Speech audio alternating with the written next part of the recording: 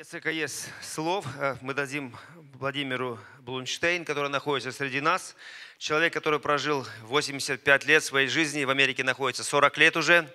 Один из первых иммигрантов, который приехал. Но было важно смотреть, когда жена у него болела. Я помню, этот человек вот до последнего момента, он ходил, ухаживал за ней, возил ее на коляске. И у него сегодня сердце тронуто сказать пару слов нам, молодым. Пожалуйста, просим вас. Дорогие мои, я буду очень кроток, потому что дело идет к концу. Действительно, мне 85 лет в августе исполнилось, а верующий я уже 65 лет. Я принимал крещение на реке Амур ровно 65 лет. Уже были заморозки. Конечно, мы очень много пережили. Отца забрали и расстреляли. Только пару лет назад мы узнали через интернет. И даже прокурор из Хабаровска запрос дали, как бы реабилитировал отца и многих, и чуть не извинялся, что отец, отец был расстрелян, был проповедник, много о Господе говорил, в 1938 году, 31 марта. Тогда же и расстреляли дочь Каргеля, Елену Ивановну, отца Винса и многих-многих. Поэтому хочу вам сказать, что есть у писателя Островского такие изречения – что, дескать, ну, они, конечно, в социализм, коммунизм верили все прочее. А мы верим в нашего Господа Иисуса Христа. Держитесь Его, потому что еще будут большие искушения и даже гонения нашу церковь. Запомните, это очень важно, как закалялась сталь у него. Но они верили в будущее великое, которое разлетелось, как карточный домик. А мы верим в вечность нашего Господа Иисуса Христа, где мы будем все находиться. Если только будем в нашем уповании и держать эту святость, эту веру нашего Господа Иисуса Христа. Это самое главное, запомните.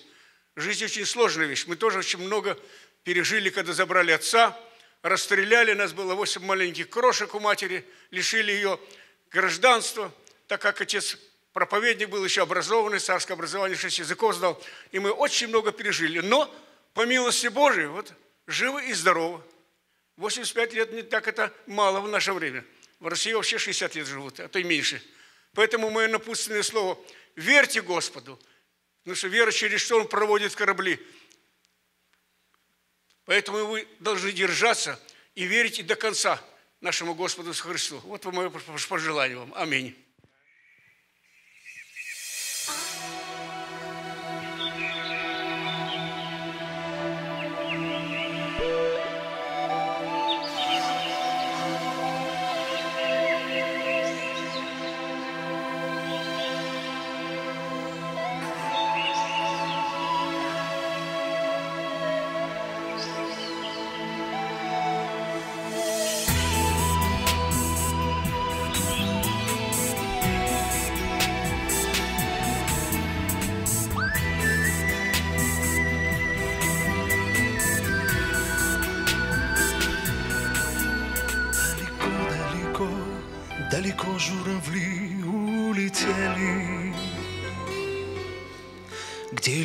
Где поля, где порою бушуют метели. А лететь журавлям, а лететь журавлям нету мочи. И присели они на поляне в лесу среди ночи. А лететь журавлям, а лететь журавлям нету мочи. И присели они на поляне в лесу среди ночи. А на утро снялись, все на югу летают далеко. Лишь остался один на поляне бродить одиноко. Он кричал им во след, помогите, пожалуйста, братцы. Нету сил у меня, нету мочи на воздух подняться. Он кричал и во след, помогите, пожалуйста, братцы. Нету сил у меня, нету мочи на воздух подняться. И спустились они, помогая усталому братцу. Хоть и знали о том, что до цели не просто добраться. В небеса поднялась журавлей белокрылая стая. Они браться с собой уносили на юг, улетая. Небеса поднялась журавлей белокрылая стая. Они браться с собой уносили на юг, улетая.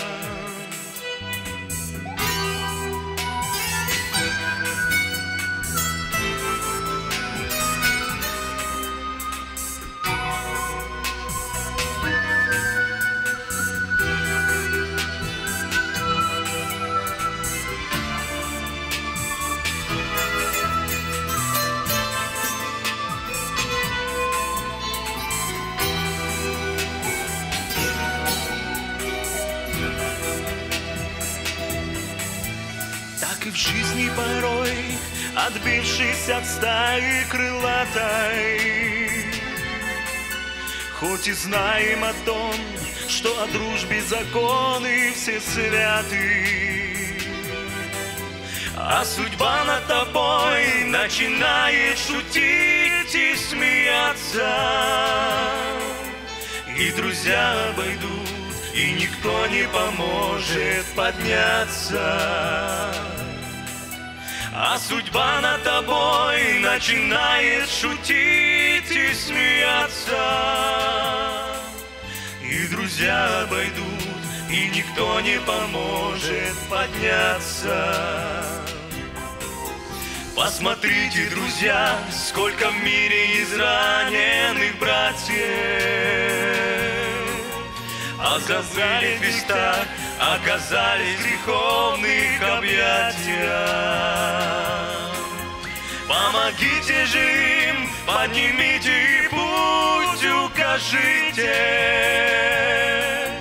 К Иисусу Христу вы молитву за них вознесите. Помогите же им, поднимите и путь укажите. Иисусу Христу вы молитву за них вознесите.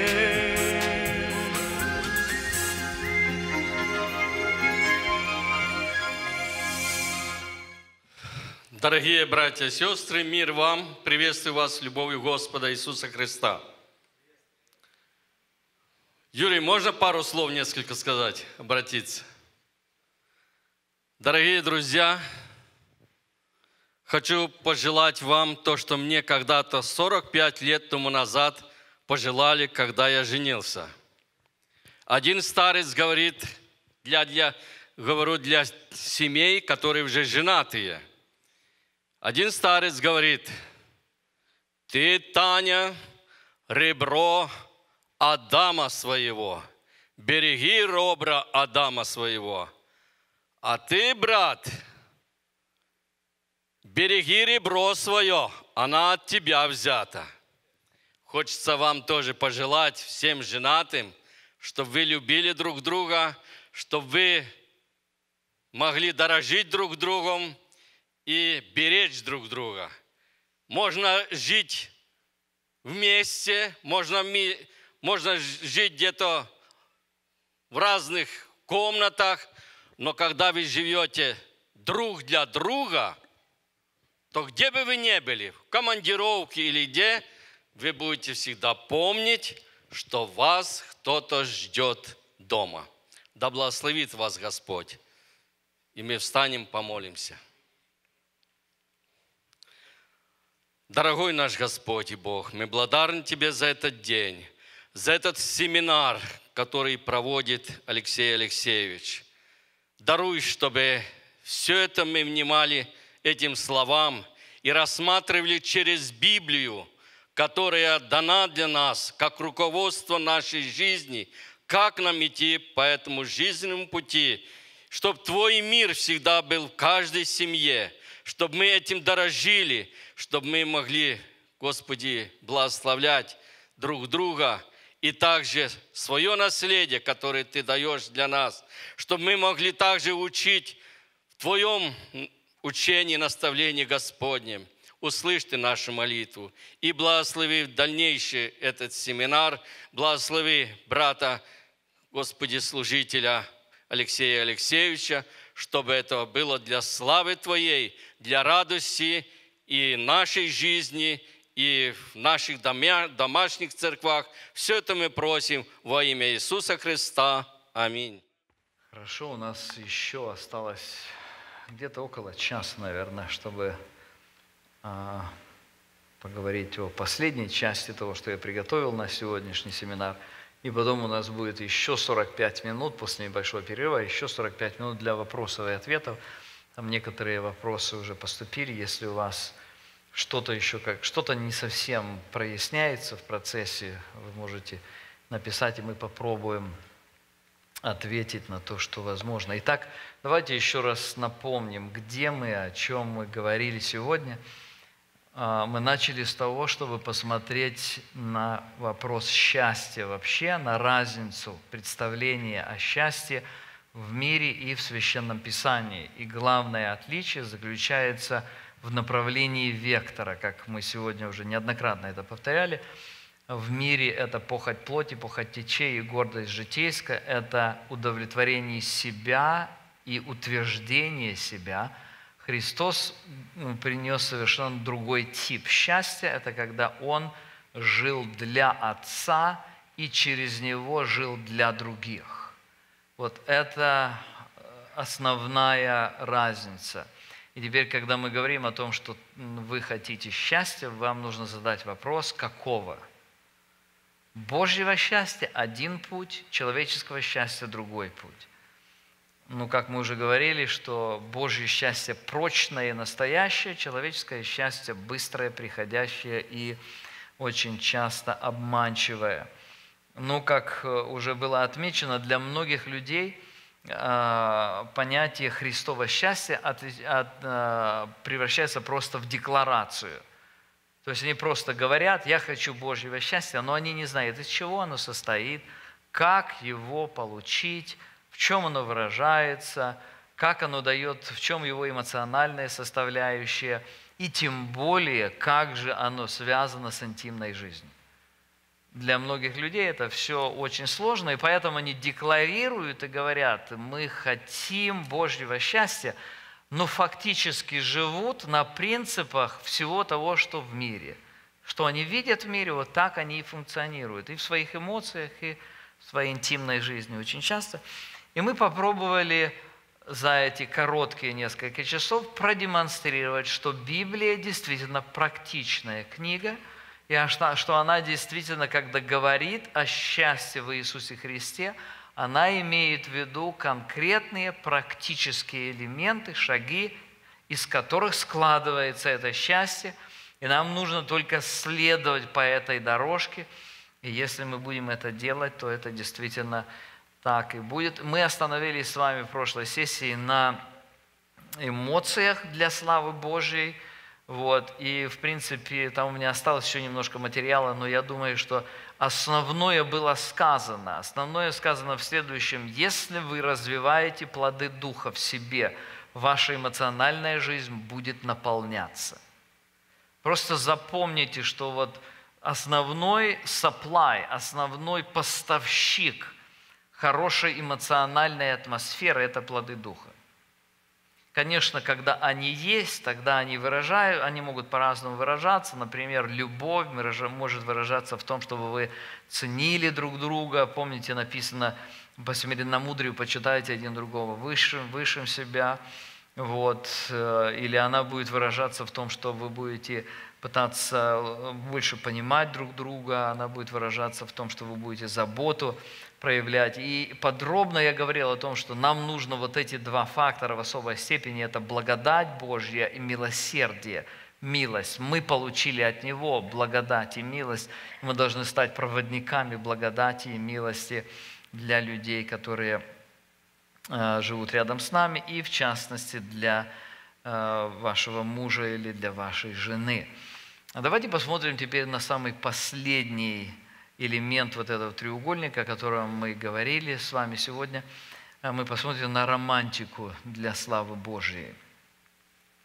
Священное Писание говорит о том, что все, что вы не делаете, делайте для славы Божьей. Помните 1 Коринфянам 10 глава, кажется, 30 или 31 стих.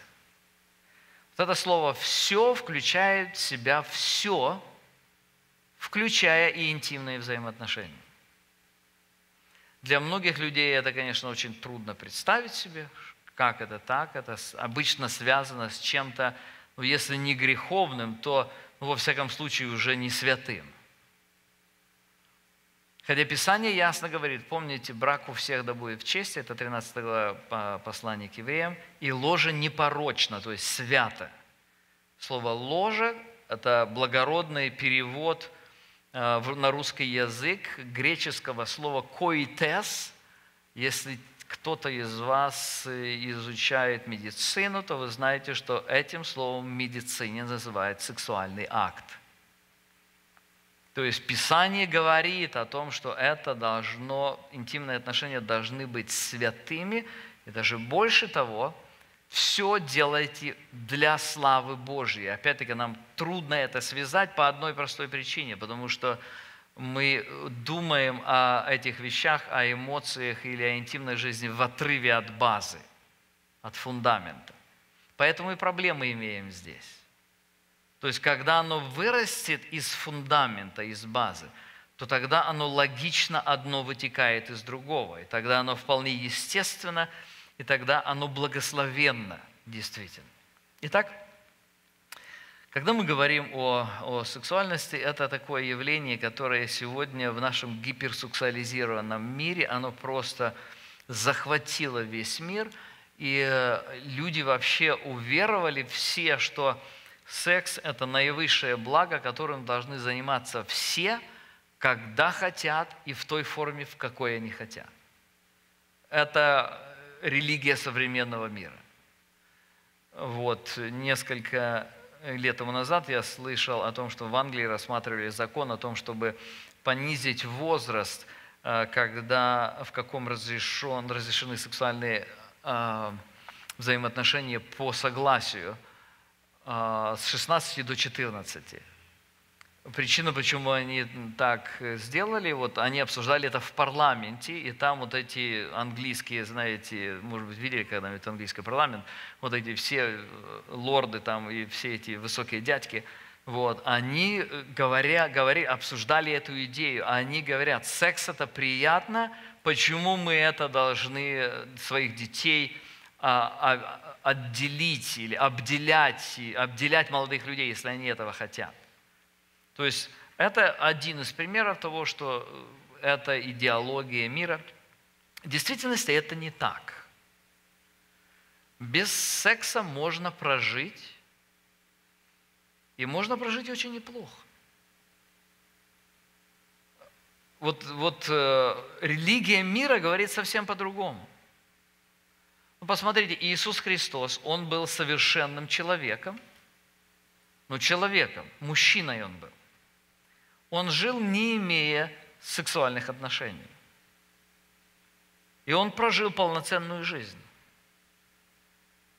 То есть та религия, в которую нас пытается обратить мир, говорит так, что это обязательно, это необходимо, и если человек этим не занимается, то он или больной, или э, жалкий человек, потому что на него нагрузили restrictions, эти ограничения религиозники какие-то. Писание говорит совсем о другой картине, другую картину представляет. Мы можем э, сделать вот какой вывод из этого.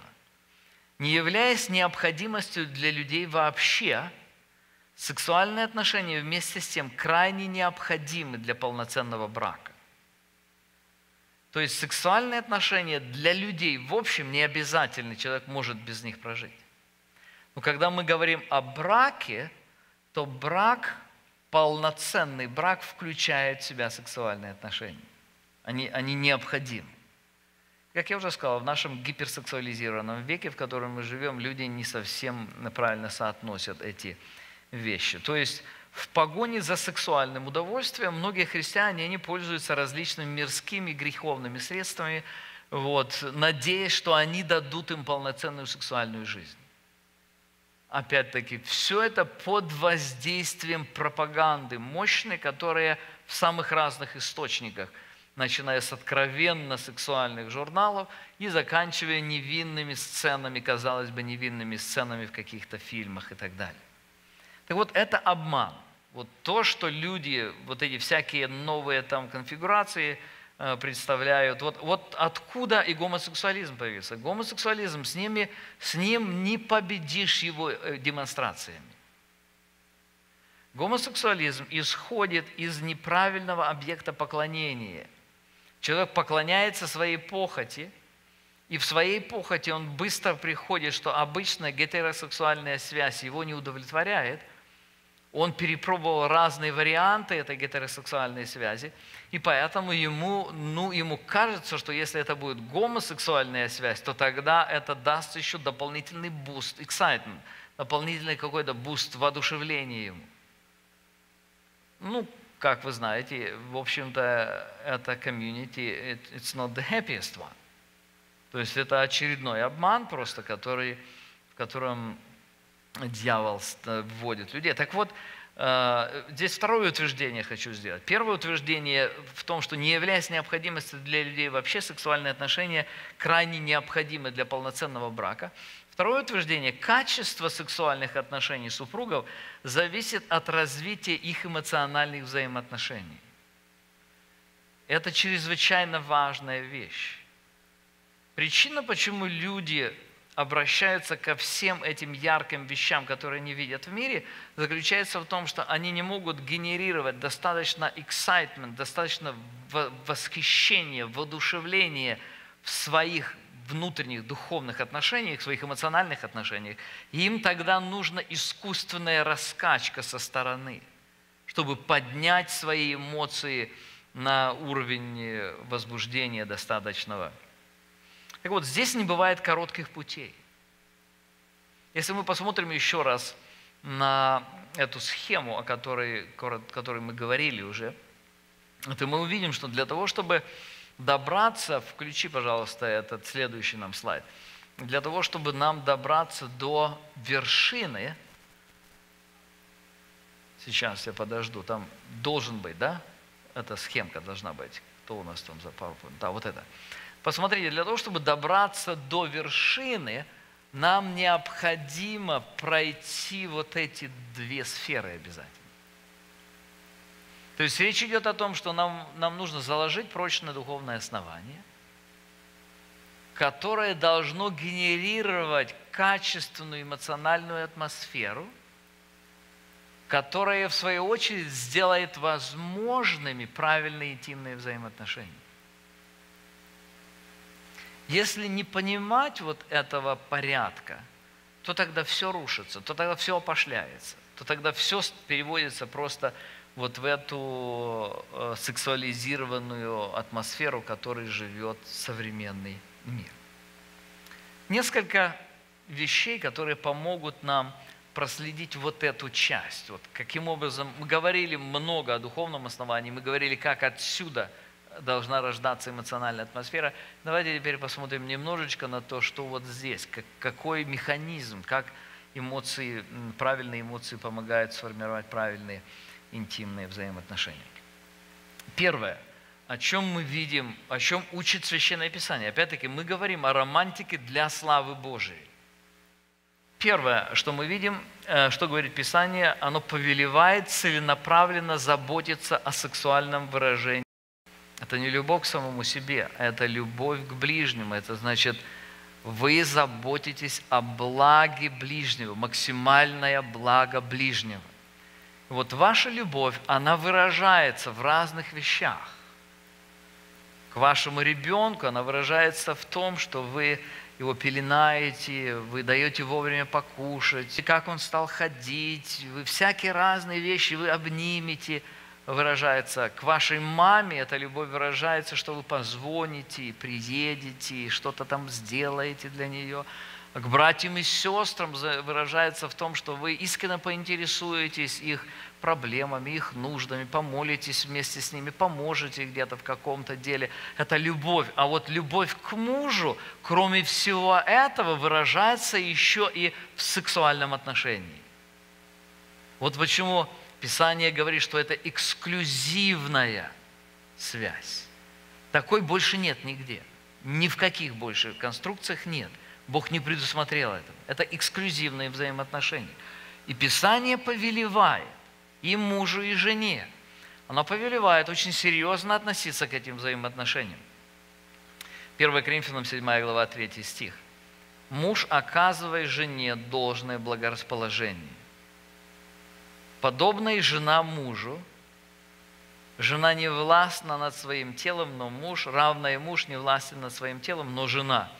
То есть здесь повеление, которое делает апостол Павел, повеление от Господа, и он говорит, муж оказывает жене должное благорасположение. Это опять-таки вы понимаете, что этот перевод делался около 200 лет тому назад, и это благородная форма выражения сексуальных взаимоотношений.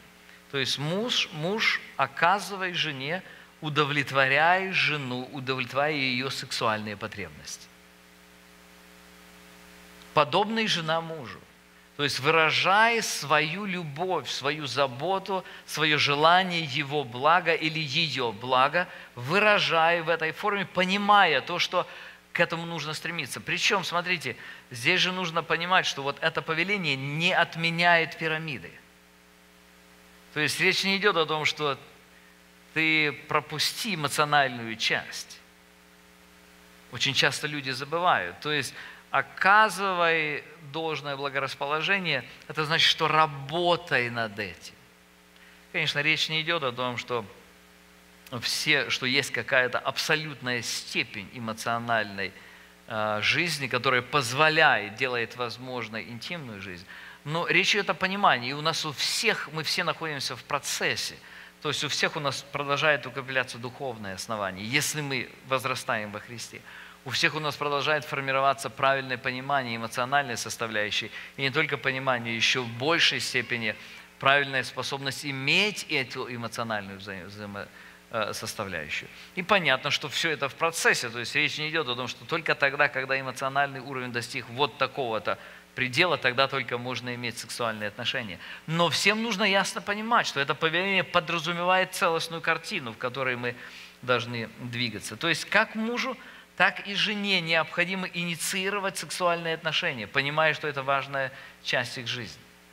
То есть это повеление э, обращено к другим, вернее, к двум им, к двоим им.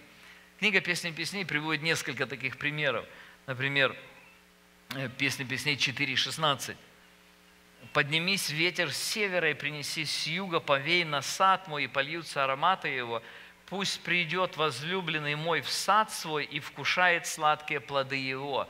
То есть это невеста, это жена говорит о она говорит красивым и насказательным, образным языком, она говорит о взаимоотношениях, которые она здесь инициирует. Она предлагает их. Или, то есть она говорит, я готова, я хочу принести тебе максимальное удовлетворение. Или 7 глава, 11 стих. Еще одна ситуация. «Приди, возлюбленный мой, выйдем в поле, побудем в селах, поутру пойдем в виноградники, посмотрим, распустилась ли виноградная лоза, раскрылись ли почки, расцвели ли гранатовые яблоки. Там я окажу ласки мои тебе». То есть речь идет о целенаправленном подходе, в котором эти люди, которые являются мужем и женой, они заботятся о том, как это будет, где это будет, когда это будет. Они думают о том, чтобы это было. То есть они понимают, что это очень важная часть взаимоотношений. То есть когда мы говорим о, о сексуальных взаимоотношениях, это это пик отношений, которые могут существовать между мужем и женой. Очень важно понимать, почему это так. Потому что если мы посмотрим на этот треугольник, который уходит вот в эту пику, вот, вот эта вершина, которую мы видим там, то чем выше ты поднимаешься, тем тоньше и чем, тем чувствительнее эта сфера является. Интимные отношения, они предполагают абсолютную степень доверия мужа и жены друг другу. То есть в это время между мужем и женой нет ничего вообще, даже одежды. Помните, написано, и были оба наги и не стыдились. Некоторые люди думают, что речь идет о сексуальном стыде. В действительности речь не об этом идет. Когда они, Адам и Ева сшили себе одежды, то речь шла не о сексуальном стыде, что им было стыдно друг перед другом, а речь шла о их уязвимости. Тогда они увидели себя уязвимыми, и они стали прикрывать себя. Друзья, степень доверия людей друг другу всегда определяется тем, насколько человек уверен, что тот, кто рядом с ним, не обернет его слабости против него – Понимаете, да? То есть вот у вас есть взаимоотношения с разными людьми. Со многими людьми у вас только так, привет, пока, хорошо, улыбнулись и все. У вас есть друзья, которым вы можете рассказать о своей проблеме. Вы можете сказать, вот такая беда случилась у меня. И вы можете сказать настолько много, насколько вы уверены, что этот человек, услышав о вашей проблеме, не пойдет и не растрезвонит – не осудит, не повернет это против вас. Понимаете, да? Так вот, чем ближе люди друг к другу, тем больше спадают все попытки себя скрыть. Интимные взаимоотношения, они предполагают абсолютно полную степень доверия, в котором люди даже не пытаются себя скрывать больше.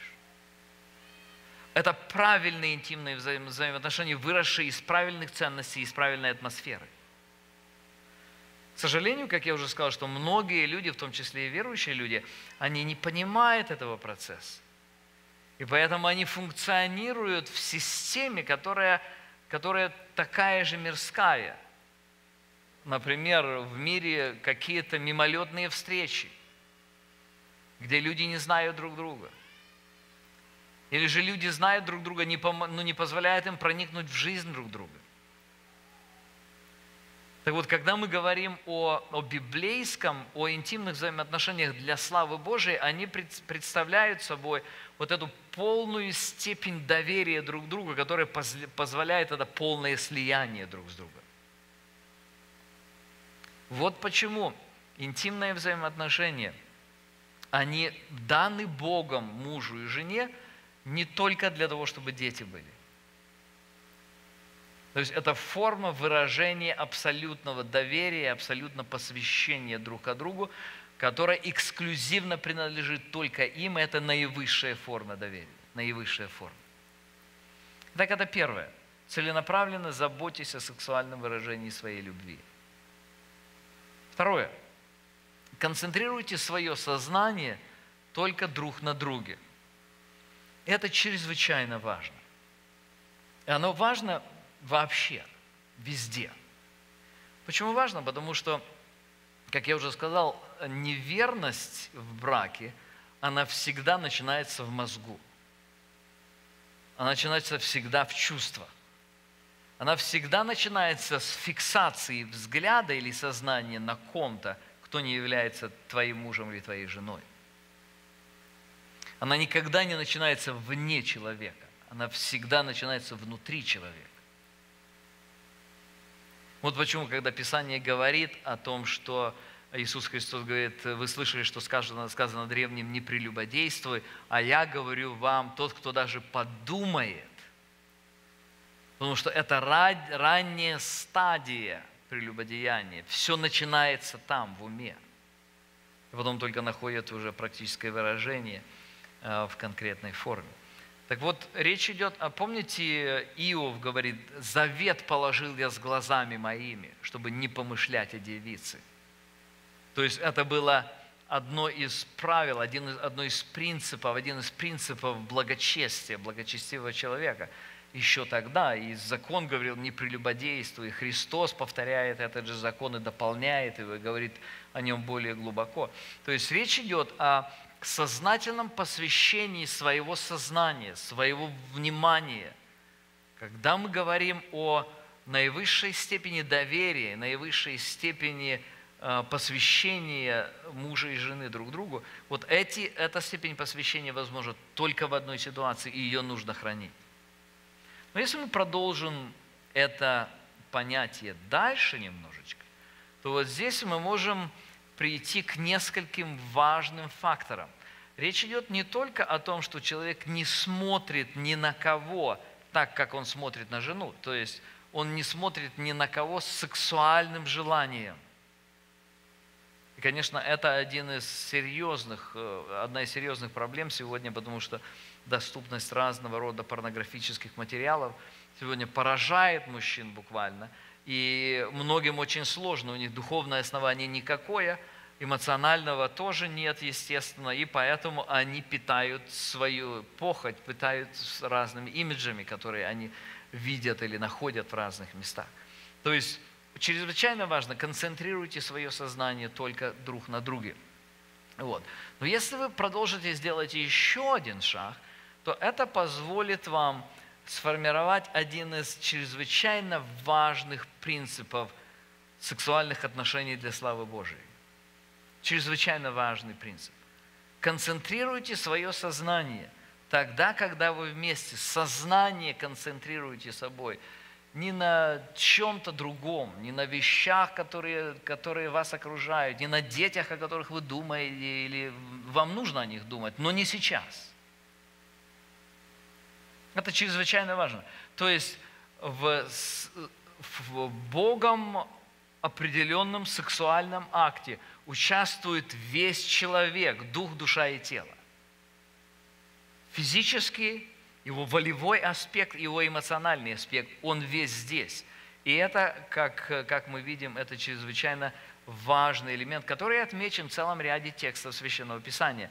Например, песни песней 4.8 Э, муж говорит, со мною с Ливана невеста моя, со мною иди с Ливана, спеши с вершины Аманы, с вершины Синира Ермона, от логовищ львиных, от, от гор Барсовых. Он призывает ее внимание, она с Ливана была.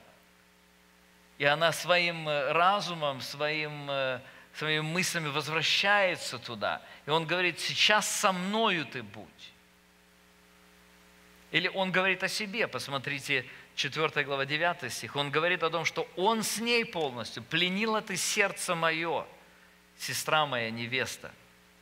Пленила ты сердце мое одним взглядом очей твоих, одним ожерельем на шее твоей. То есть речь идет о вот этой захваченности друг, друг с другом. Э, или захваченности друг другом, точнее.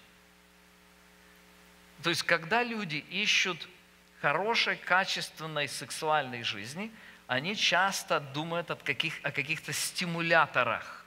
Как стимулировать возбуждение. Некоторые даже ну, пытаются э, приходить к таким извращениям. Некоторые верующие, они думают, вот давай вместе посмотрим порнографический фильм, и это возбудит нас. Нет ничего дальше от истины, чем эта глупо, глупейшая идея. Самым большим стимулятором – заключается ваша любовь, выраженная в ваших эмоциях и в вашей захваченности друг другом. Это действительно то, что создано Богом для того, чтобы это стимулировало качественные отношения, которые будут прославлением Бога. Третье, связанное с этим. Выражайте свое восхищение друг с другом. Друг другом. Если мы читаем песни песней, то в этой книге, очень важной книге, муж и жена постоянно говорят друг другу, я ценю тебя, я хочу тебя, ты нужен мне или ты нужна мне. То есть это понятно, что все мы закручены, у нас у всех много дел. И я вам скажу, что это действительно одна из серьезных проблем вообще всех людей. Всех людей. Но Писание нам говорит о том, что строя вот эту пирамиду, нам нужно заботиться об этих вещах, чтобы искать формы, каким образом мы можем говорить, посылать сигнал, ты мне нужен, ты мне нужна. Нужна полностью, в том числе не только для того, чтобы э, там кушать готовить или чтобы муж, чтобы деньги зарабатывал. Ты мне нужен, личность твоя нужна, полностью вся, дух, душа и тело. Помните, именно это было первой точкой соблазна неопытного юноши из седьмой главы книги притчи. Помните вот эта история, когда вышел э, и, значит, э, э, вернее, он шел там где-то в этих переулках, и она вышла на угол, и она стала искать его. И она, в принципе, говорила следующее. «Я вышла на, навстречу тебе, чтобы отыскать тебя, и нашла тебя». Она врет, конечно. Она вышла, чтобы мужика найти. Но в данном случае говорит, о, я тебя здесь ждала. Вот, вот сидела и спала и видела тебя только. Но заметьте, как это покупает человека.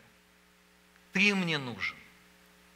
Вот эта эксклюзивность, которая принадлежит только мужу и жене. Этой теме, кстати, посвящена большая часть книги «Песни песней», где они постоянно подчеркивают – вот этот фактор, что ты мне нужен или ты мне нужна. Песни песней, первая глава, первый стих написано, начинает так, «Да лобзает он меня лобзанием уст своих, ибо ласки твои лучше вина». То есть она говорит, мне хорошо с тобой. Она, она хочет этого, и она выражает это. Заметьте, это древность. Это не гиперсексуализированный век. Это древние времена, в которых Бог специально показал это для того, чтобы показать во взаимоотношениях мужа и жены это нормально. Это должно быть. Это то, как Бог создал это.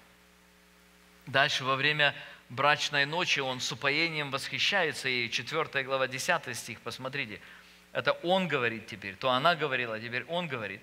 «О, как любезны ласки твои, сестра моя невеста! О, как много ласки Твоей лучше вина, и благовоние масти Твоих лучше всех ароматов. Сотовый мед каплет из уст Твоих, невеста, мед и молоко под языком Твоим, и благоухание одежды Твоей подобно благоуханию Ливана. Заметьте, речь идет о конкретных отношениях, о сексуальных отношениях. И они о них говорят достаточно свободно друг с другом, красиво говорят.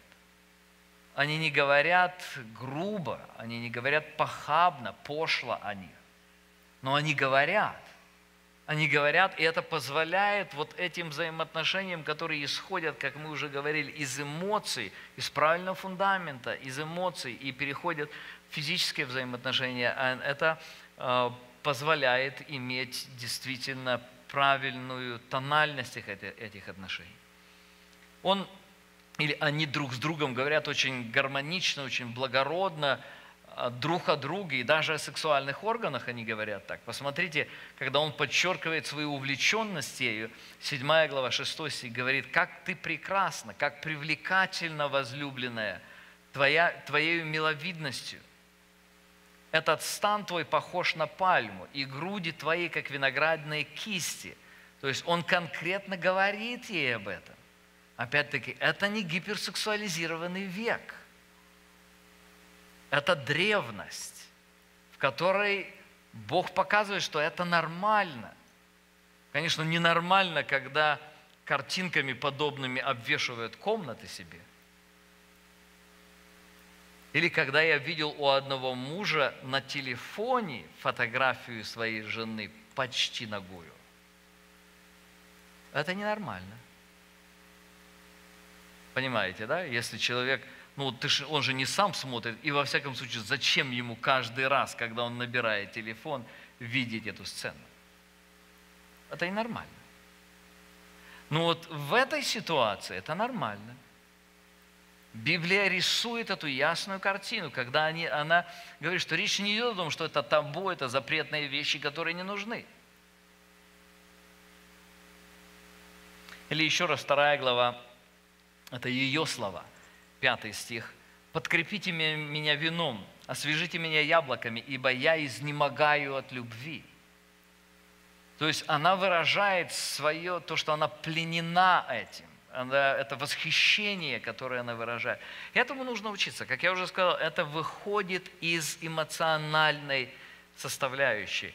Вы не сможете иметь больше правильного возбуждения здесь, чем эмоциональная составляющая ваших взаимоотношений. Четвертое. Значит, мы уже говорили о том, каким образом романтика может быть для славы Божией. Это целенаправленно нужно заботиться о сексуальном выражении своей любви. Второе – концентрировать свое сознание только друг на друге. Третье – это выражение своего восхищения друг с друг, друг другом. И четвертое – наслаждайтесь друг другом. Это очень интересная деталь.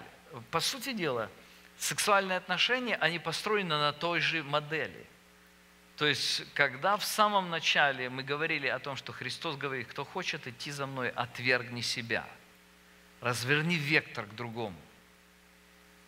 Это значит о том, что на всех уровнях, о которых мы говорили, мы повернуты к тому, чтобы искать благо другого. Теперь заметьте, когда мы дошли до этого пика, там этот вектор не развернулся, он также и продолжает быть повернут в ту сторону. В сексуальных отношениях это возможность служения жены мужу и мужа жене. Как только сексуальные отношения поражаются эгоизмом, как только этот вектор разворачивается, сразу, сразу же они опошляются, сразу они становятся чем-то грязным, нехорошим. Но заметьте, что интересно, что при направленности вот этого вектора от себя в сторону супруга или супруги – вот э, когда это достигает наивысшей точки, что интересно, что и тот, кто ищет благо другого, или в данном случае удовлетворение, удовольствие другого, и сам он получает э, максимальное наслаждение. Смотрите, песни песней 5.1. Это слова Бога, которые звучат. Это вот после, если вы подробно изучали бы песни песней, то вы видите там несколько периодов описаны. И после того, как в четвертой главе описано их упоение друг другом, брачная ночь, то э, пятая глава, она передает слова Творца, который говорит, ешьте, друзья, пейте и насыщайтесь, возлюбленные. Он благословляет это. Кроме того, мы встречаем целый ряд других текстов, которые говорят о том, что сексуальные отношения должны приносить физические, эмоциональные и полноценные удовольствия. Они в действительности только тогда и будут полноценными, когда они исходят из правильной базы, из полного посвящения друг другу.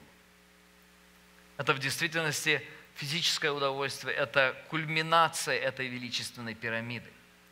Пятая глава, книга притчи, 18 стих, где сказано очень, очень ясно. «Источник твой да будет благословен, и утешайся женой юности твоей». Опять-таки это слово, помните, мы уже переводили его немножко точнее, «delight yourself», «наслаждайся». Дальше описано – о чем идет речь? Что он имеет в виду? Он говорит, любезную ланью, прекрасную серную, груди ее да упаяют тебя во всякое время, любовью ее услаждайся постоянно. То есть он повелевает, он говорит, что правильно выстроенная жизнь, она приводит к возможности того, чтобы люди могли иметь полноценные интимные отношения, служить этим друг другом, друг другу выражать свою заботу, посвященность друг другу посредством целенаправленных действий, которые приносят удовлетворение. Помните, что ваше наслаждение друг другом является еще одним сильным стимулятором а, правильного возбуждения, которое должно иметь место в этих отношениях. Итак, давайте вернемся еще раз к нашей схеме, о которой мы говорили уже. Я хотел на этом подвести итог.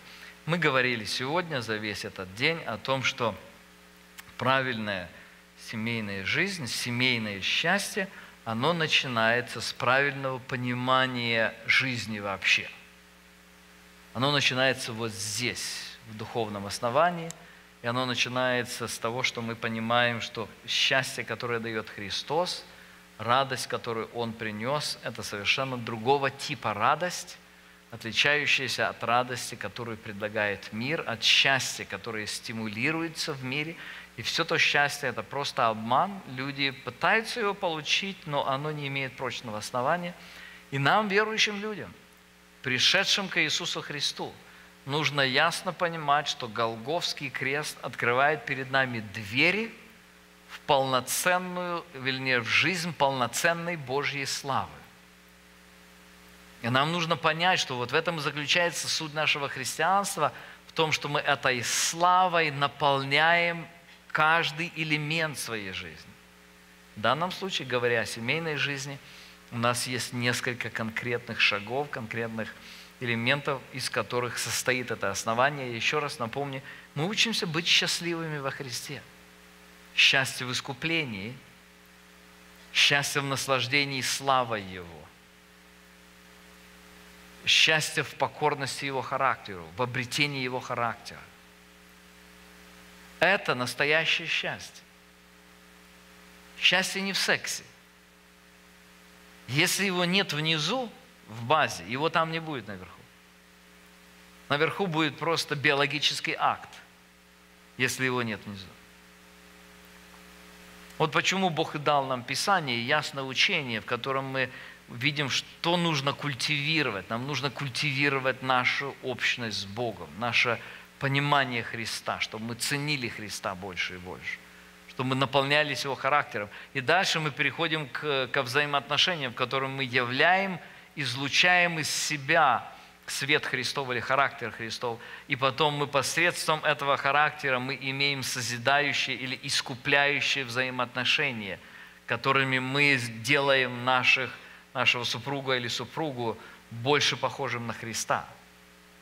И это приводит нас к точке, которая делает возможным наше возрастание, нашу способность генерировать плод Духа, который наполняет собой нашу эмоциональную составляющую жизни. И чем больше она будет, чем более яркая, чем более насыщенная она будет, чем больше в нас будет плода Духа, вот тогда это, естественно, приходит к этой еще одной уникальной форме взаимоотношений между мужем и женой, к их интимной близости. Кстати, очень интересный вопрос. А, Бог сделал так, что дети рождаются только в результате интимной близости. И это неспроста. То есть речь идет о том, что вот только в этой точке, когда духовно все прочно, когда эмоционально все мир и, и любовь друг с другом, вот тогда ребенок может быть зачат. Вернее, так сделано было. Проблема, конечно, заключается в том, что вот это все перечеркивается, и пытаются люди э, сразу прыгать туда, куда, куда не нужно.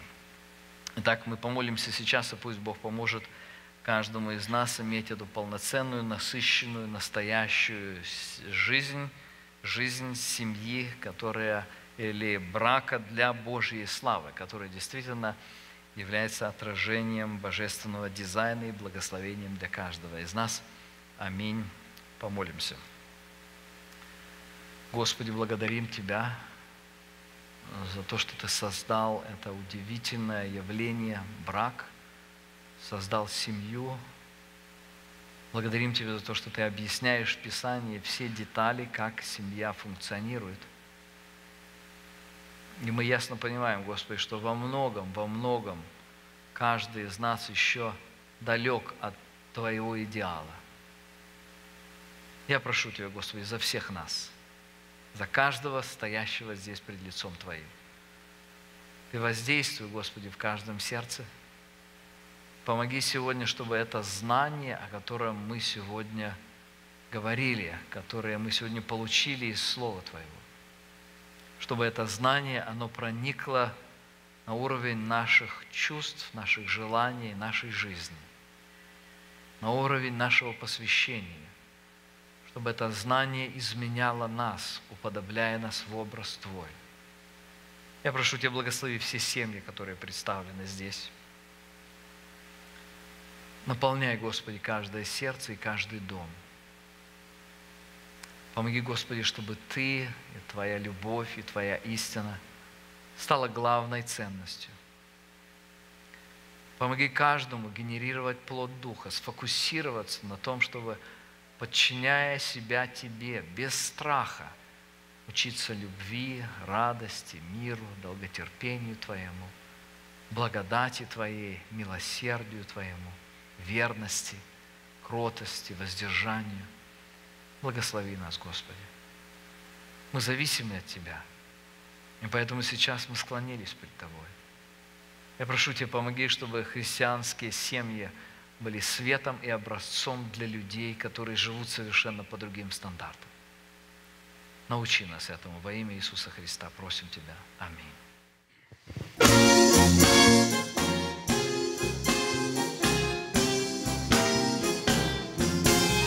Мне радостно, когда Иисус со мною, Он от грехов меня освободил.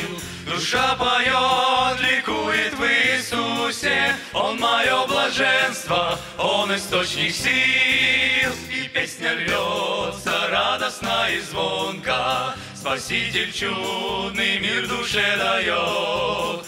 Пусть жизни путь бывает и тернистый, Ветер бури грозы, но душа поет. Счастлив я быть с Иисусом, Петь хочу я о нем. Он дает мне надежду и ведет в отчий дом. Любовь Христа мне сердце наполняет, Дает гореть мне с каждым днем сильней, Дает мне силы побеждать невзгоды, Жить во славу Бога и любить людей. Счастлив я быть с Иисусом, Счастлив я быть с Иисусом. Петь хочу я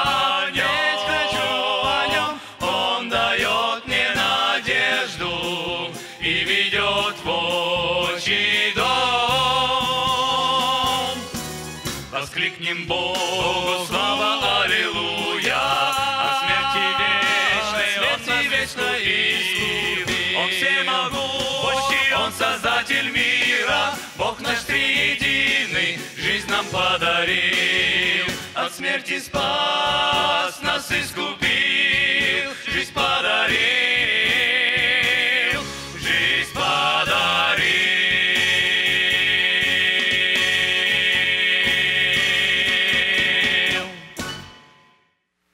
Вопрос такой.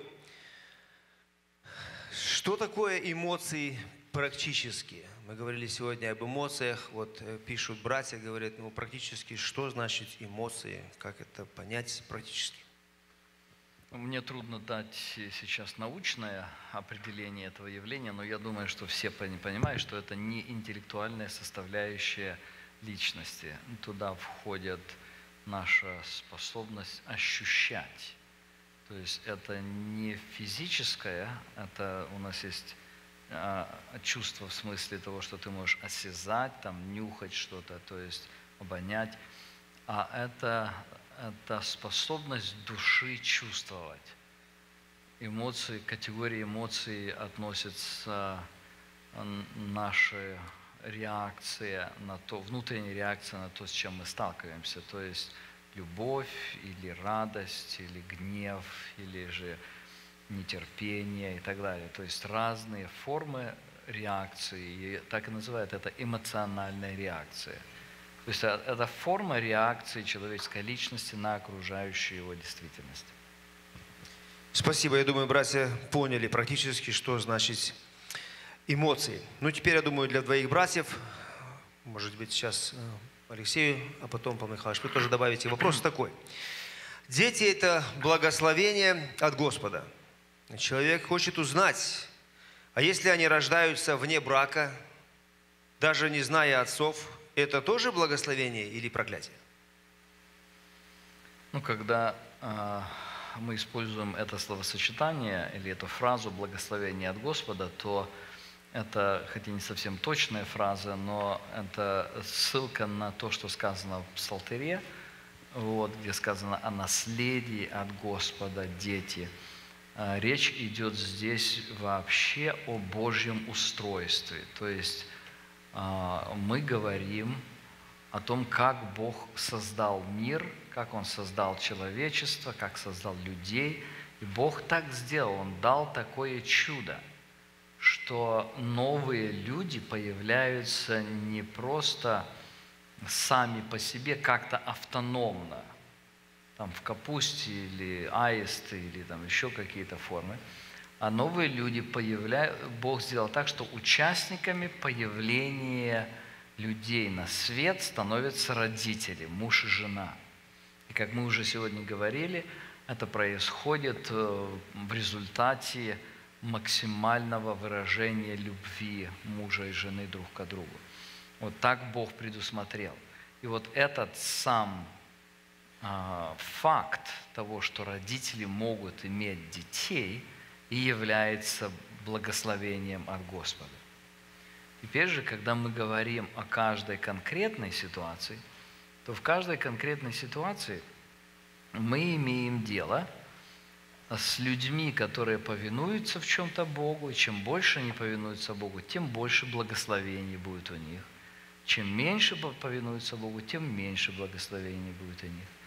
И когда имеет дело кто-то с, с фактом внебрачного, внебрачной сексуальной связи, в результате которого рождаются дети, так вот, при всем том, что жизнь свята, и при всем том, что матери нужно заботиться об этом ребенке и любить его, при всем этом греховный подход к этому делу создал ущербную ситуацию – котором этому ребенку не будет хватать того, что Бог изначально сделал, запланировал, что должно быть. Вот таким образом и нужно смотреть на это явление. Я только добавлю, друзья, что благодать Божия настолько велика, Его милость. Если вы посмотрите, ну хотя бы на, взгляните на родословную Господа нашего Иисуса Христа, вы увидите там несколько личностей, ну, которые, казалось бы, ну не нужно было бы их туда записать. Но, тем не менее, Божья любовь велика. А мы знаем, что произошло с первым сыном а, Давида от Версавии. Он умер. Но мы знаем, что произошло со вторым сыном от Версавии. Написано, что когда он родился, Бог его возлюбил. Понимаете, а история-то, вообще-то соединение Версавии с Давидом, она страшная история. Но благодать Божия изменяет вот эту ситуацию для того, чтобы было благословение для Господа и для Его народа. Хорошо, братья, спасибо большое. Сейчас один вопрос э, по интернету или мне по текст-месседжу. Здесь по-английски был, значит, when you are saying that people need to be happy to create a happy family, according to these words, what does it mean in Bible where it says – that it's not good for a man to be alone. По-русски это звучит примерно так, что вы говорили, что люди должны быть счастливы, чтобы создать счастливый бра- семью, брак, да? И, значит, где в Библии написано, что человеку нехорошо быть одному. Как это? Я уже отвечал на этот вопрос. Отвечали, в, хорошо. В самом начале, когда, когда мы начинали вторую сессию, я говорил о том, что Семья – это место выражения счастья, которое у человека есть. Спасибо большое. Следующий вопрос э, таков. Э, часто молодые люди, вступающие в брак, стали задавать вопрос такой. Мы еще так молоды, нужд еще так много, и доучиться нужно, и жилье устроить, и к детям мы не готовы как бы – как долго можно наслаждаться жизнью без детей? Важная фраза «как бы». Важная фраза «как бы». И особенно у меня еще вторая фраза «нужд еще много». Наше понятие нужд, вы понимаете, да, что оно отличается от того, как понимают нужду в трех четвертях мира вообще –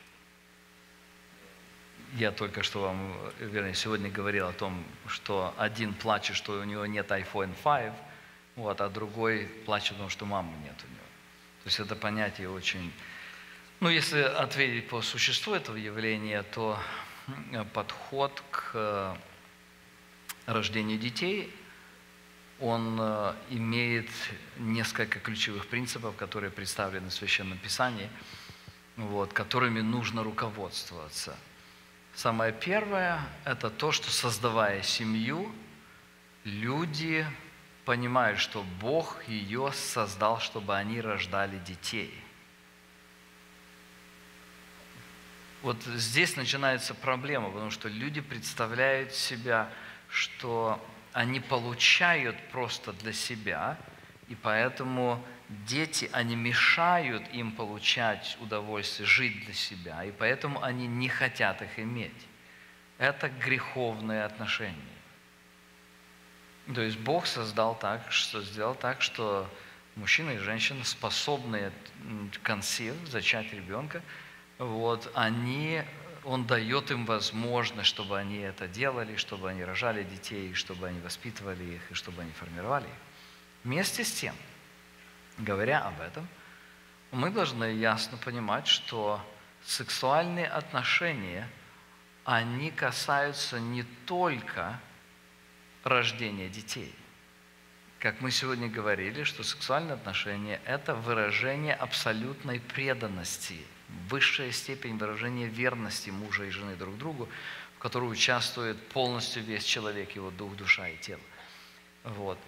И поэтому, когда мы говорим о, о том, что как человек подходит к тому, чтобы у него рождались дети, то здесь есть еще один важный фактор – этот фактор говорит о том, что человек не просто рождает детей. Я сегодня говорил фразу, которая принадлежит одному проповеднику американскому. Он, он когда-то написал так. Бог создал мужа и жену, чтобы они делали детей. Дальше добавляет учениками Иисуса Христа. То есть, чтобы они делали детей, которые становятся учениками Иисуса Христа. То есть, когда речь идет о том, чтобы, э, что муж и жена рождают детей, они не могут избегать рождения детей по самолюбивым причинам, по причине своего эгоизма. Но они должны регулировать рождение детей, исходя из их заботы о наилучшем благе детей. Ну и в каком-то смысле и о наилучшем благе матери чаще всего, потому что она носит и она рожает. Вот, то есть речь идет факторы, которые могут играть роль. Это ее здоровье и потом реальная способность взрастить этого ребенка. И вот здесь должно быть честное перед Богом, э, честный вопрос, заданный себе. То есть э, вот моя цель, чтобы мы рожали детей как можно больше.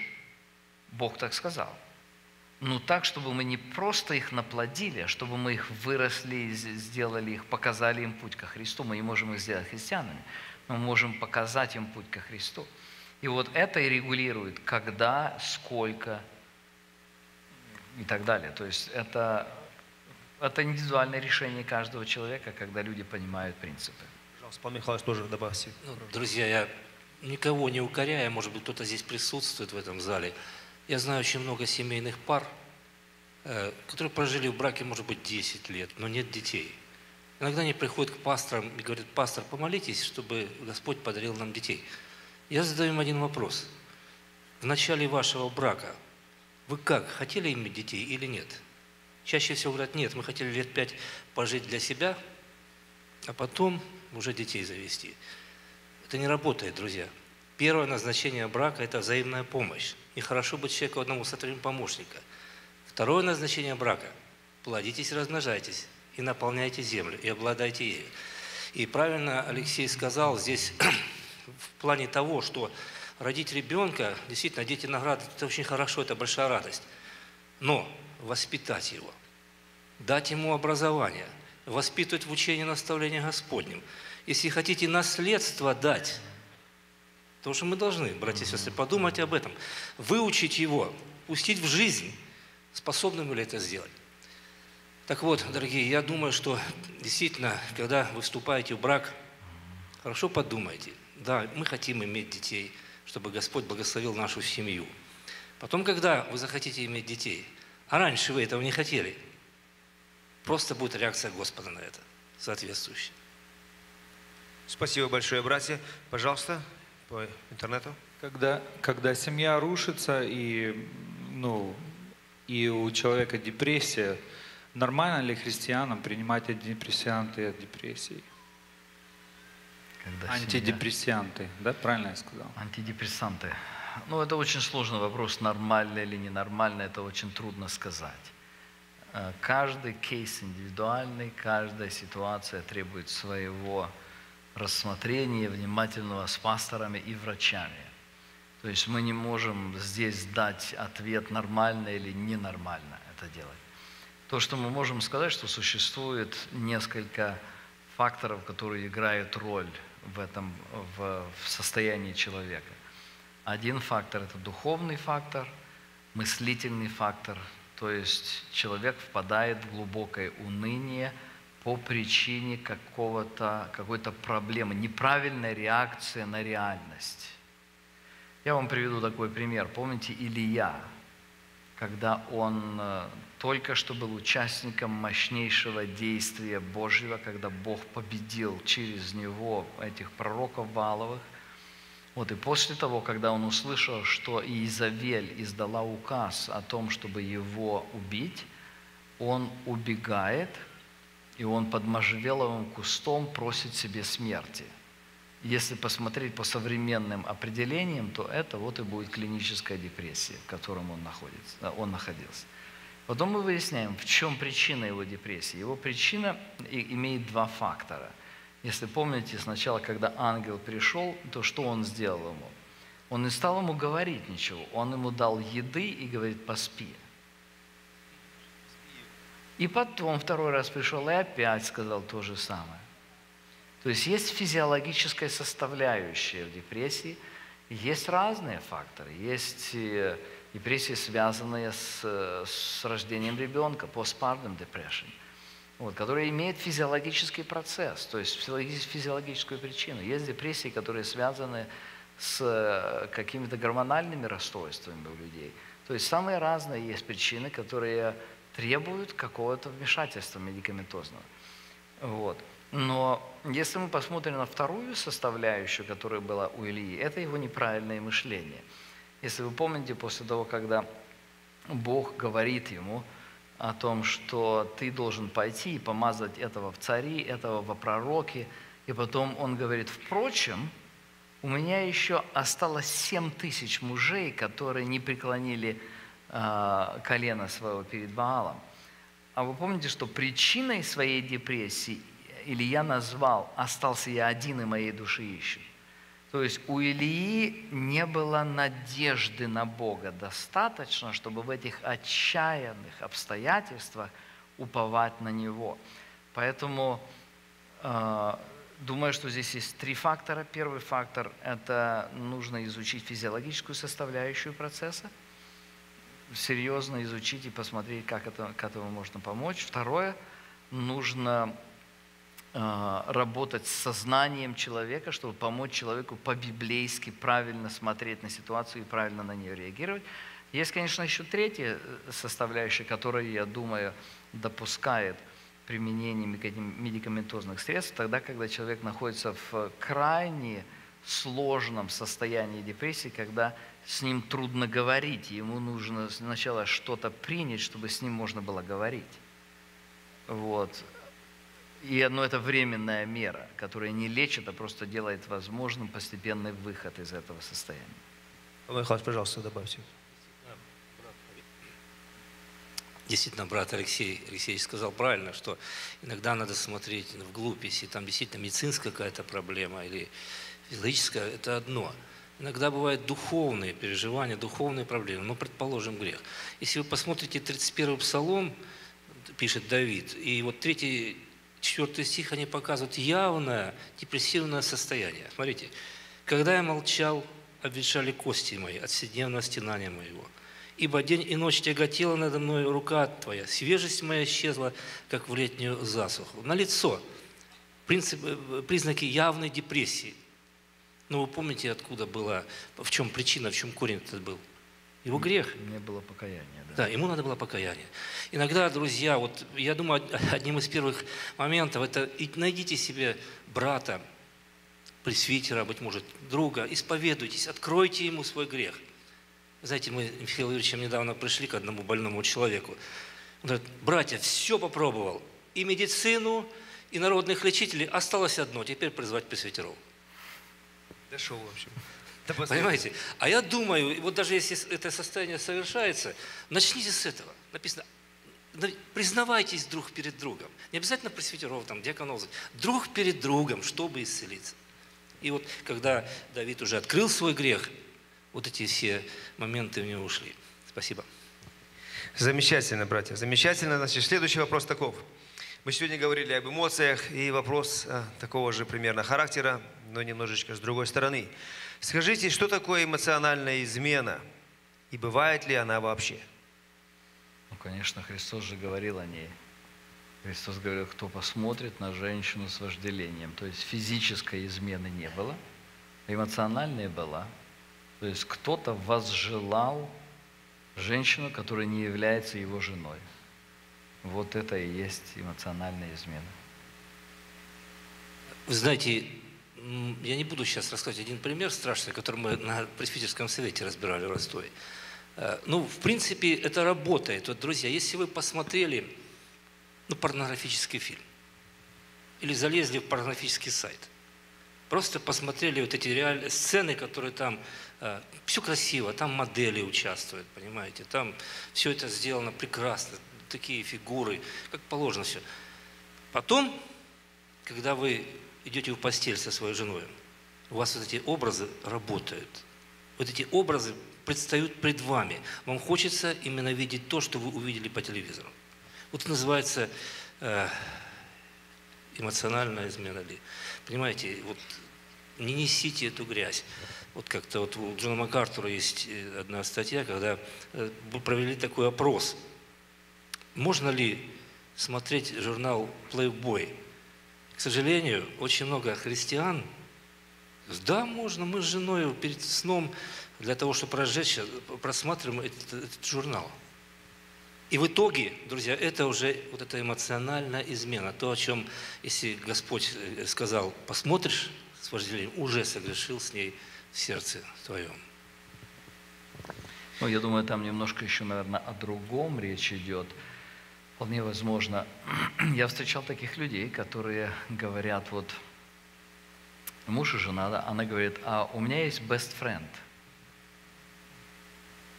И имеет в виду не подругу, женщину, а имеет в виду просто человек, с, с которым, ну, ей приятно говорить там об искусстве, там, о Ну, она сама замуж не получается. да, она замужняя, да. И муж ее знает, что они просто вот best friend, и она просто с ним гуляет там иногда. Это, говорят, это просто платоническая такая любовь, это они вот пойдут там в кафе сходят, а вот в общении им хорошо друг с другом. Вот, ну это просто извращение такое, где люди, они не хотят выстраивать вот эту эмоциональную близость там, где положено, а просто ищут ее на стороне где-то, да. Хорошо, значит, Виктор, еще пару вопросов. Да. а, Как научить, а, что если правильная система брака была упущена в свое время? Какие первые шаги а, мы должны принимать, чтобы иметь ту правильную гармонию между мужем и женой? И вообще, ли это реально? И вторая часть вопроса, э, что развод это что-то хорошее бывает, и вообще, есть ли ду- э, здоровая духовная жизнь после развода? Бывает ли духовная жизнь после развода? Ну, Хорошая. есть. То есть это две, две части. воп- Да, много вопросов сразу. Ну вот так прислали Да. такой текст. Ну, первое, давай начнем с первого, о том, что делать, когда уже ситуация запущена. То есть, когда неправильные отношения сформировались давно, заложены неправильные навыки. Что делать? Э, Делать, начинать с корня. То, о чем мы говорили сегодня. Нужно понять, э, что было неправильно, э, неправильное ожидание найти счастье там, где его нет. Вот. И нужно начать развивать личные взаимоотношения со Христом так, чтобы они принос... становились объектом твоего счастья, делали тебя более счастливым человеком. Чем больше ты будешь становиться более счастливым с человеком, тем больше твоя эмоциональная жизнь будет улучшаться, плод духа будет появляться. Тем больше, более приятной ваша атмосфера будет в доме, тем больше ты способен будешь любить. Конечно, в этой ситуации э, приходится преодолевать кое-что, что уже было выстроено. То есть было выстроено, э, уже какая-то горечь есть в сердце, уже что-то что сделано, что нужно простить, и прощения нужно больше. Вот. Но то есть только один путь. И когда э, задают вопросы вообще, реально ли это, конечно, реально. Конечно, в жизни каждой, в каждой паре, в каждой семье. Найдите вы мне семью, в которой все было правильно построено. Да нету таких. Кто-то больше немножко знал, кто-то немножко меньше знал. Но всем нам приходится исправлять, и строить, и созидать. А, Относительно э, развода, Библия ясно говорит, что Бог ненавидит развод, во-первых. Во-вторых, а, Матфея, 19 глава, сказано, что, что Бог сочетал, то человек да не разлучает. Вот, и поэтому это, это абсолютно ясно, что Бог этого это запрещает, и Он не может благословить это. шагах, первые шаги мы должны принимать, чтобы иметь ту правильную гармонию. Я думаю, братья и сестры, вот э, мне часто, ну зачем эти конференции? Каждый год вы собираете семейные пары, да они уже все знают вперед вас, книжки читают, пожалуйста, смотрят фильмы. Вот, наверное, сегодня каждый по-особому посмотрел, друзья. Если центром жизни мужа будет Иисус Христос, и центром жены будет Иисус Христос, то вот это как раз-таки первые шаги, друзья, к тому, чтобы изменить ситуацию. Вот начните, если у вас есть проблемы э, в взаимоотношениях, наладьте отношения с Христом. Пусть центром вашей жизни будет Христос. У тебя, дорогая жена, у тебя, дорогой муж. И тогда вы вот действительно будете иметь ту полную, правильную гармонию в своей жизни. Хорошо, Павел Михайлович, найдите Ефесянам 5.27. Ефесянам 5.27. Ну, записка такого характера тут, в принципе, так немножко неясно, поня- непонятно особо так. Но я вижу, в чем э, тут, э, в принципе, вопрос. Э, Ефесянам 5.27. Не имеющий пятна и порока. И далее пишут, значит, мы иной раз пытаемся создать такую церковь, поведение, одежда, еще что-нибудь. Ответьте, пожалуйста. Ну, тут видно так за строкой, что бывают люди так говорят, ну какая разница? И какая разница на одежду смотреть, на поведение смотреть, лишь бы душа чистая была. Вот, видимо, Ну, вот в Я этом думаю, надо в контексте прочитать с 25-го. «Мужья, любите своих жен, как и Христос возлюбил церковь и предал себя за нее, чтобы осветить ее, очистив баню водную посредством слова, чтобы представить ее себе славную церковью, не имеющую пятна или порока, или чего-либо подобного, но дабы она была свята и непорочна. Так должны мужья любить своих жен, как свои тела». Пожалуйста, Алексей, по поводу этого. Но здесь про одежду не сказано. Здесь сказано о чистоте церкви. Речь идет о Христе, который на Голговском кресте взял грех наш и отдал нам свою праведность. Он пострадал за это. Он вменил нам свою праведность. И теперь под воздействием Святого Духа, с благодатью и милосердием, Он изменяет нас и свою праведность переводит в э, э, потенциальную праведность переводит в актуальную. То есть Он помогает нам преображаться в образ святой, о чем мы читаем в самых разных местах. Вот это вот смысл. То есть не имеющий пятна или порока, это касается духовного состояния человека. Вот. То есть здесь вообще об одежде не сказано ни за, ни против одежды. Вот. И когда это, эта параллель, она касается мужа теперь. То есть он говорит, мужья, любите своих жен, как Христос возлюбил церковь и предал себя за нее, чтобы осветить ее. Это чрезвычайно важно. Главная цель Христа, Его любовь к людям выражается в том, чтобы помочь им становиться более более уподобляющимися Христу. И он объясняет, муж, твоя самая большая любовь к жене заключается в том, чтобы помочь ей уподобляться Христу, уподобляться этому святому образу. Вот, то есть здесь объяснена цель наивысшего блага. В чем заключается наивысшее благо? Вот, в принципе, смысл этого текста. Спасибо, Алексей. Пожалуйста. И, и средства, дорогие братья, это не просто какое-то внушение или воспитательные меры, а здесь написано посредством слова. Братья, посредством слова. Написано, пожалуйста, вот Библейское слово. Значит, э, еще такой вопрос. Дети уже в возрасте. Жениться, выходить замуж. Но обстоятельства не позволяют. Нет постоянной работы, то ли финансовая нестабильность, учеба, которой, кажется, нет конца. Как поступить в этих обстоятельствах?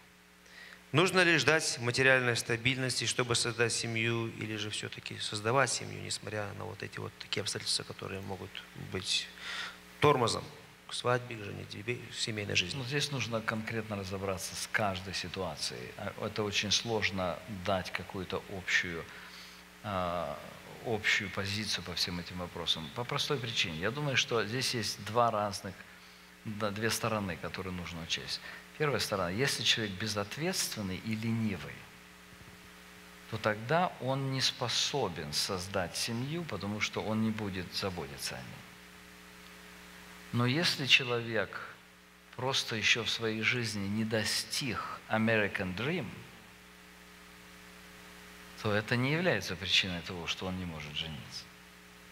Опять-таки, посмотрите на, на то, как живет ну, большая часть, подавляющая по процентам отношений часть мира. Как мы жили в, в Советском Союзе. Ну, кто мог говорить, думать о том, что есть машина, есть дом, есть стабильная работа? Создавали семьи, да. Почему? Если есть готовность работать, только придется на ну, меньший уровень жизни, не с таким размахом, как другие. Опять-таки, все зависит от ожиданий, как люди, что люди ожидают. Пожалуйста, Павел Михайлович. Я понимаю, это вопрос задали более такие уже зрелые семейные пары. Но это правильно. Когда вы выдаете дочь замуж, как у Сираха написано, отдавай дочерей замуж и сделаешь великое дело. Вы делаете великое дело.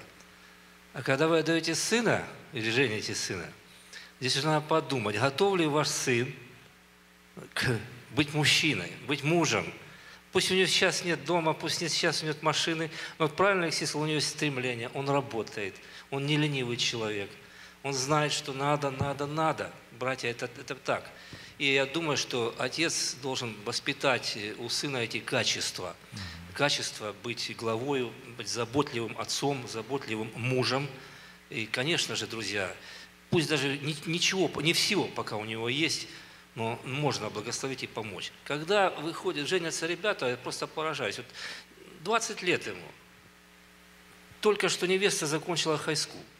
Ни профессии, ничего нет у них. И у мамы хотим пожить первые три месяца. Невеста ты что? Первые три месяца, наоборот, где-то надо пожить, а потом можно у мамы пожить. Она немножко соображает, хотя моложе его, понимаете? Хотя high school закончила.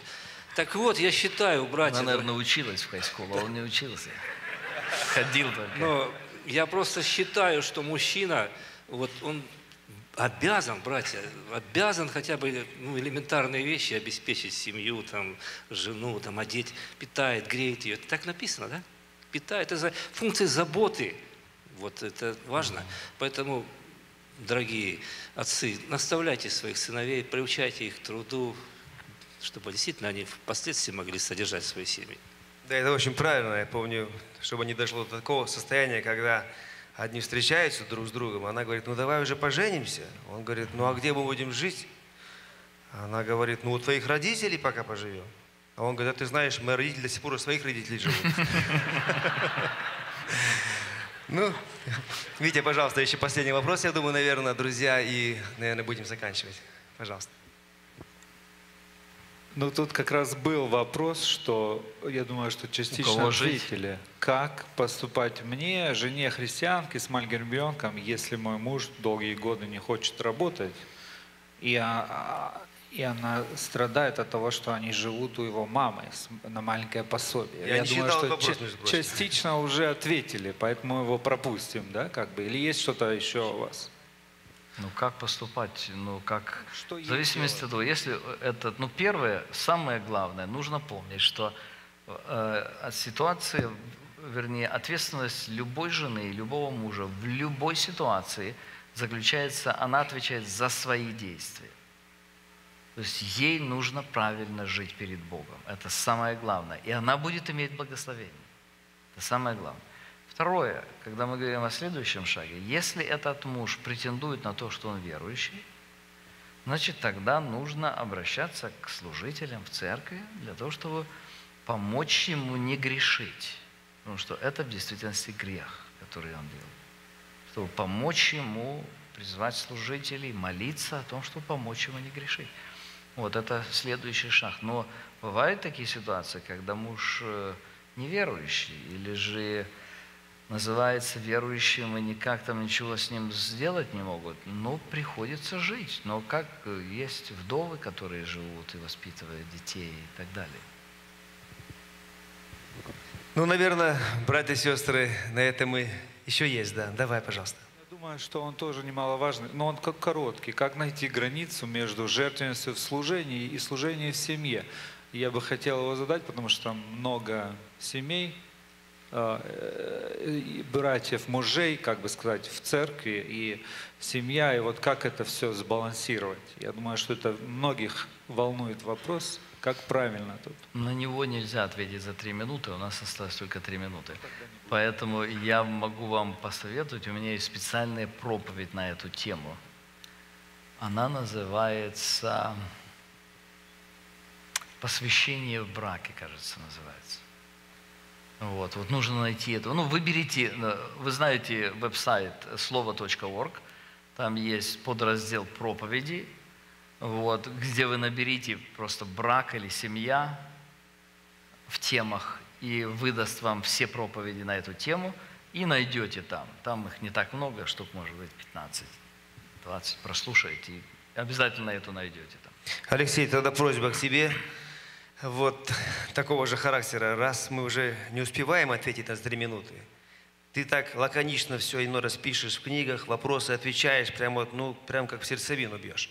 Ты будь добр тогда, напиши, на- напечатай вот на этот ответ, на этот вопрос. И мы поместим в наш веб-сайт, одна из вопросов, которая была помещена на конференции, и людям будет тоже интересно прочитать, хорошо? Ну, может быть, попробуем. Спасибо, спасибо, спасибо, Алексей. Ну что, друзья, всякому времени, конечно, есть начало, и всякому времени есть заключение. Я думаю, конференция прошла вот как вот на одном дыхании. Только, казалось бы, вроде бы начинали 9 часов, и уже вот 5 часов почти.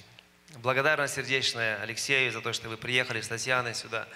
Вот у него вот это последнее время, поездка за поездкой, и в Сакраменто, и по Сибири, и в Австралию, и дома у тебя нужно будет. Ну, спасибо, что ты нашел также время приехать сюда, поделиться Словом Господним. Это было очень важно. Это первая часть наша была такая, чтобы ты был Слава Богу здесь. всё, Слава Богу. Пускай Бог благословит ваше служение в труде вашем. Вот благодарен э, нашей церкви, пасторам, служителям, которые поощряют, чтобы это служение развивалось. Также благодарю комитет, которые трудились, они поработали, подготовили все, что было благословенно и чинно, медиагруппа, видеоаппаратуру, вот, регистрация каждого-каждого, кто подвязался на свою, по своем отделе. И также благодарен сердечно, друзья, особо за то, что вы здесь были. Вот на конференции на это, пускай Господь благословит, чтобы наши семьи действительно были крепкими, как Алексей говорил, чтобы показать миру образец семьи. Алексей, может, у тебя, может, есть пару слов просто подвести итог такой, что-то нам пожелать молодым семьям, пожилым, взрослым, каждому человеку, кто здесь находится, здесь молодые также люди, которые есть, которые не женаты еще. Такое, может, короткое твое пожелание для них. И помолись, пожалуйста, тогда. И Павел Михайлович тогда закончит молитву и благодати. Ну, я уже целый день э, пожелания давал, вот, поэтому все, что можно еще сказать, это ясно понимать, что благословение семьи в Боге – И это не просто слова, а это практический путь, который представлен в Писании. Это нужно помнить и им пользоваться. Спасибо большое. Брат Алексей, помолись тогда, и Павел Михайлович закончит молитву благодати. Благодарим, Господи, Тебя за то, что Ты по своей милости даешь нам эту возможность собираться вместе и говорить о таких важных вопросах, которые касаются жизни каждого из нас. Я прошу, Господи, Тебя благослови, чтобы все то, о чем мы говорили сегодня, оно проникло в практику жизни и сформировало жизнь каждого. Просим Тебя об этом во имя Иисуса Христа. Аминь. Господи, мы благодарны Тебе за эту радость иметь эту конференцию. Теперь мы благословляем всех дорогих братьев и сестер, кто присутствовал здесь. Особенно за молодые семьи, Господи, благослови их же свято, непорочно в этом злом возвращенном мире. Господи, кто не имеет деток, но желает этого, пусть благодать Твоя снизойдет, потому что дети – награда от Тебя. Господи, у кого есть дети, даруй их воспитывать в учении и наставлении Господнем. Господи, мы сейчас благословляем дорогого брата Алексея Алексеевича, сестру Танечку, Господь, в этот путь, храни их, Господь, в перелете, пусть Твоя божественная рука и охрана будет над ними. Прими сердечную благодарность за все. И благодать Господа нашего Иисуса Христа, любовь Бога Отца и общение Святого Духа со всеми нами. Аминь. Аминь. Аминь. С миром Божьим. С миром Божьим, сестры. друзья.